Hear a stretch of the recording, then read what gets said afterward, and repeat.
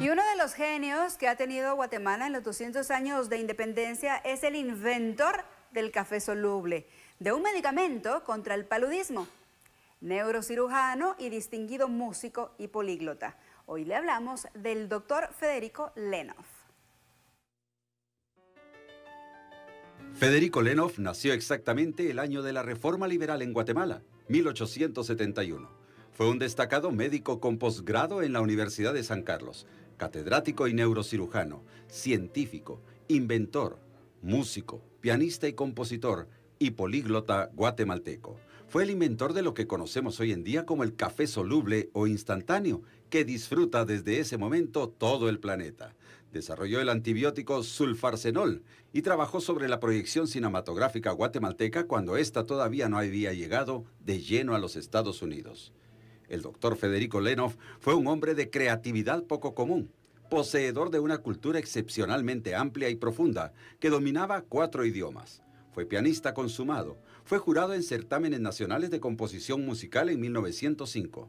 Por sus méritos científicos y sus inventos obtuvo numerosas distinciones, incluyendo diversas medallas en exposiciones universales y la condecoración de Caballero de la Legión de Honor del gobierno francés.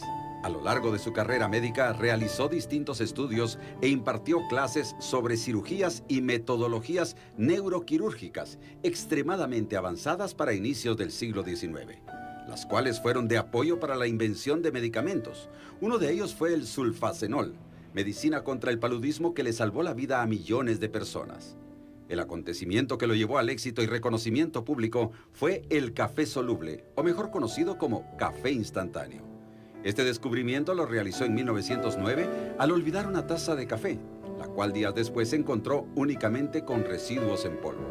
Allí, él agregó agua, y descubrió la fórmula para hacer el café instantáneo.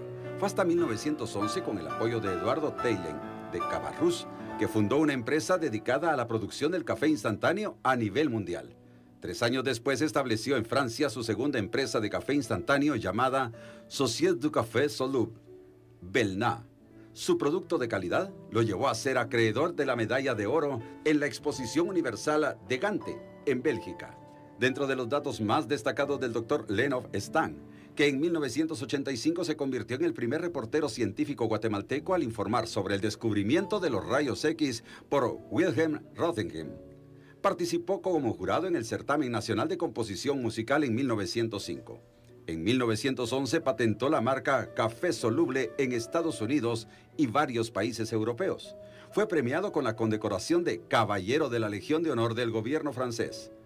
Lenov falleció en Saint-Cloud, en Francia, en una pequeña ciudad en donde se le recordará por siempre por haber sido uno de los destacados empresarios que llevó el desarrollo a ese lugar.